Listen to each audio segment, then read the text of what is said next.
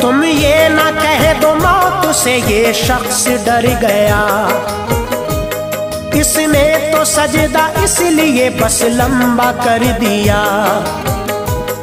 मैं आशिक रसूल हूँ, तुम जानते नहीं। दीवाना हूँ, नबी का पहचानते नहीं। मैं तो नबी के नाम पे मरता हूँ जालिमो। तुम ये ना समझ लेना के डरता हूँ जालिमो। सूली पे जब चढ़ा दिया हज़रत खुबैब को, उस वक्त उनका काबे को चेहरा था दोस्तों।